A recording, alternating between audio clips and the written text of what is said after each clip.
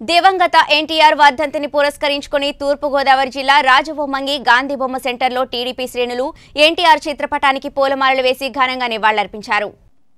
ఈ సందర్భంగా తెలుగుదేశం పార్టీ జిల్లా కార్యదర్శి దంతులూరు శివరామచంద్రరాజు మాట్లాడుతూ తెలుగుదేశం పార్టీ వ్యవస్థాపకులు రాష్ట్ర మాజీ ముఖ్యమంత్రి నందమూరి తారక రామారావు ప్రజలకు చేసిన సేవలు మరువలేనివన్నారు. గిరిజనుల జీవితాలు మార్చి విద్య వైద్యం రవాణా నీటి వస్తువులను కల్పించిన ప్రభుత్వం తెలుగుదేశం ప్రభుత్వమే అని గుర్తు చేశారు. ప్రజల గుండెల్లో ఉన్న ఏకైక నాయకుడు ఒక ఎన్టీఆర్ అని కొనియాడారు. ఈ కార్యక్రమంలో తెలుగుదేశం యువ నాయకులు గొల్లపల్లి పెద్దిరాజు బద్రి సీనియర్ నాయకులు కాంట్రా బాబ్జీ కార్యకర్తలు ప్రజలు పాల్గొన్నారు.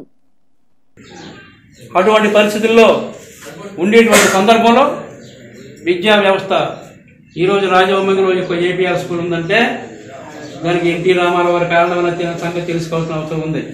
అదేవిధంగా BC boys hostel BC girls hostel tribal welfare girls hostel tribal welfare boys hostel ఇన్ని హాస్టల్స్ కూడా శాంక్షన్ చేయించిన ఘనత ఎన్టీ రామారావు గారు. ఏం చేద్దాం ఆ రోజు చదువుకోవాలంటే దారుణమైన పరిస్థితులు ఉండేది.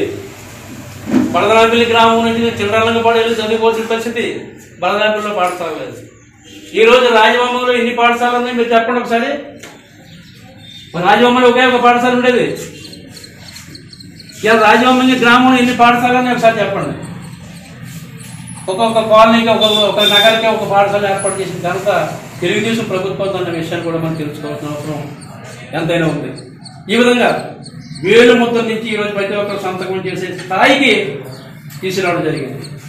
వేలు ముద్ర ద్వారా ప్రతి ఒక్కరు మోసపోయే ప్రయత్నం ఆ మోసం నుంచి పడకుండా ఉండాలంటే విద్య కావాలి.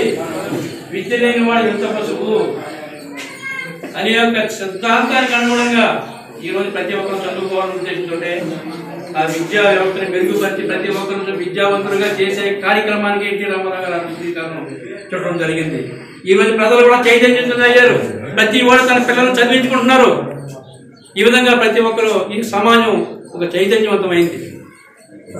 తెలుగుదేశం వచ్చి ఏమి ఇచ్చిందిరా అని పెద్దలు అడిగితే తెలివిచ్చిందని చెప్పే చెప్పేవారు మాకు. మాకు ఎన్నికల్లో మేము వెళ్ళేటప్పుడు. ఈ తెలుగుదేశం పార్టీ మీకు ఏమిచ్చిందంటే మాకు తెలివితేటలు ఇచ్చింది. మేము ఎలా బ్రతకాలో మాకు నేర్పింది. ఎమ్మెల్యే అంటే ఎవరో మంత్రి అంటే ఎవరో ముఖ్యమంత్రి ఎవరో ప్రధానమంత్రి అంటే ఎవరో ఎవరికి తెలిసినటువంటి పరిస్థితి కాదు. ఒక ఎమ్మెల్యేని చూడాలంటే సామాన్య ప్రజలకి అది సాధ్యమయ్యే పరిస్థితి కాదు. కానీ ఈ రోజు ఎంత కోటీశ్వరుడైనా ఎంత గొప్ప నాయకుడైనా ప్రతి ఒక్కడు గడప గడపకు తిరగబడిన పరిస్థితిని తీసుకురావడం జరిగింది. ఎన్టీ రామారావు గారు. సామాజిక గుర్తింపు. ఈ ఎంత గొప్పవాడని కానీ నీ గడప ముందుకు రావాల్సిందే ఓటు కోసం.